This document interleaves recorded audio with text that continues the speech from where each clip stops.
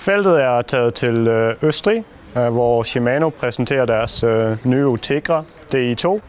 Og vi sidder her med produktchefen Tim, som har indvillet i at fortælle os lidt, lidt baggrundsviden omkring den her nye gruppe. Og jeg skifter til engelsk nu, fordi at, det forstår han lidt bedre. Thank you for, for being here with us today. Um, I would like to, to ask you a bit about first uh, about electronic groups in, in general, uh, because uh, Shimano has been on the forefront of making new groups, and, and maybe you could give us a bit, bit of uh, background knowledge on uh, what was the initial idea with, with implementing technology into, into, into group sets on a bike. Well, we have been playing around with new technologies all the time, and if you see our development uh, team in Japan, they, they make all the newest stuff. And we pioneered already with city bikes with electronical shifting. Uh, I don't know if you remember uh, Smoover concept, that was uh, actually the first Di2.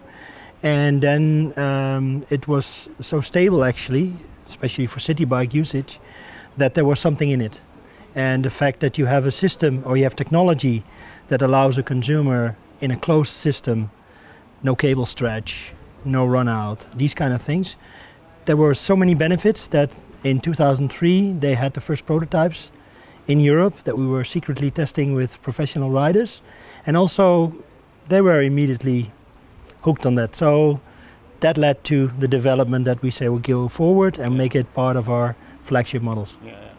And and it's come quite a quite a long way since since then. I mean, it keep the new groups keep coming out. Where where do you see the, the, the trends going? Where do you see the development in terms of, of technology and, and group sets kind of merging? Um, yeah, well, you see in the market as well, riding styles become more diverse. So um, the more people do their own rides instead of all doing the same kind of rides, the more the needs differentiate.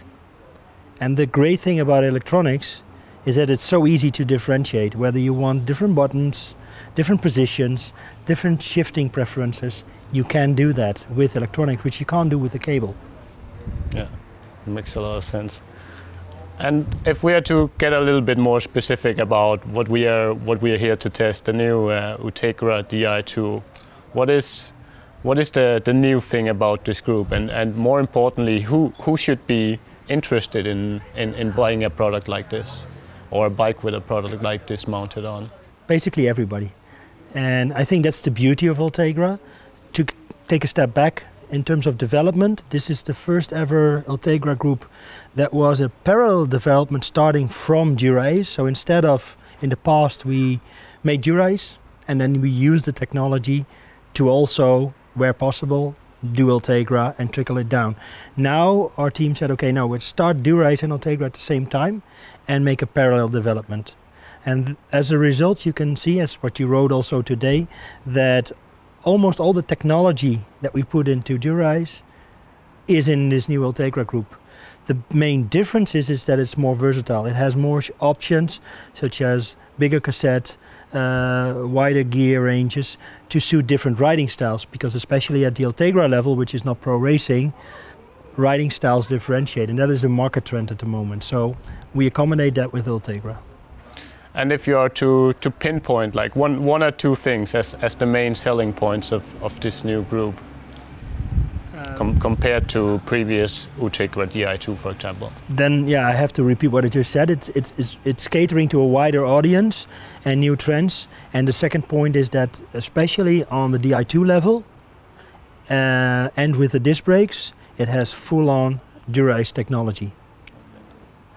And uh, a last question here um, before we, we round up, uh, because there's a lot of uh, hassle with, with or discussion about uh, disc brakes and uh, you have hydraulic disc brakes on uh, or option to have hydraulic disc brakes on uh, on this what where do you see the, the, the future of groups going in terms of braking power? Um, first of all Shimano um, as always said we make disc brakes but not to eliminate rim brakes but it's a different type of braking for different usage.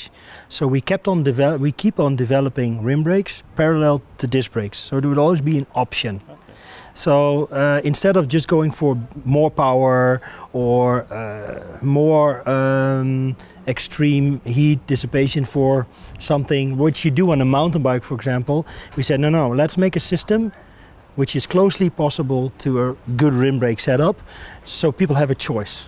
And I think that is the direction is somebody who needs a consistent brake in all weather conditions or want lightweight carbon rims but doesn't want tubes. This brake is a fantastic product. Somebody who is fine with normal braking conditions, lives in a rim brake is also a super good option. I think you've ridden also the, the normal new rim brakes yeah. we have. They're both superb products. Yeah, yeah. Okay. Thank you. I, I think that was uh, that was it for now. Thank you for, for your time. You're welcome.